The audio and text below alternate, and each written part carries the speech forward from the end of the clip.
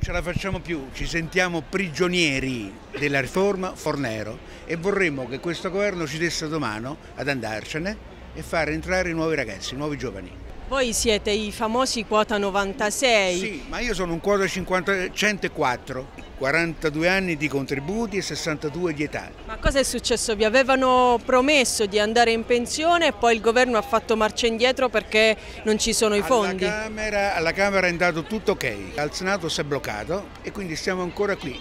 Lunedì torniamo tutti in cattedra. Con 62 anni e 41 di servizio io devo stare ancora a scuola, bene Renzi, prendi uno, pagherai due perché se sto male io vado a casa e pagherai me e la supplente. Io devo dire al governo Renzi basta chiacchiere, basta parole, basta promesse, mantenga quello che ha promesso perché nel momento in cui il nostro emendamento è stato bocciato al Senato, anzi ritirato, lui ha promesso che ci avrebbe sistemato, noi aspettiamo di essere rottamati, non chiediamo altro. Se il Parlamento all'unanimità ha riconosciuto che si è trattato di un errore, questo già è, stato riconosciuto all'unanimità dal Parlamento ad agosto, quindi voglio dire, non si può sconfessare il Parlamento. Quindi lei chiede un decreto per... Credo, un decreto che si adegui alla votazione della Camera dei Deputati. Oggi c'è il Consiglio dei Ministri tanto annunciato, si doveva parlare anche di scuola. Eh, guarda strano, è slittata, come mai?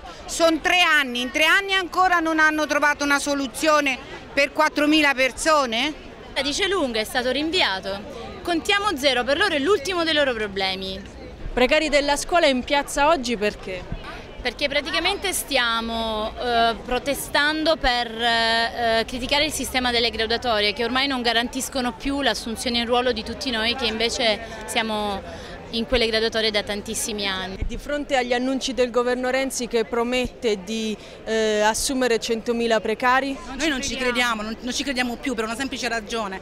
100.000 assunzioni in tre anni sono un naturale turnover per la scuola italiana, 33.000 assunzioni all'anno sono un passo naturale che avviene ogni anno, quindi non c'è nulla di straordinario. Straordinario sarebbe stato se ne avesse assunti 33.000 questo primo settembre o 100.000 il 2015.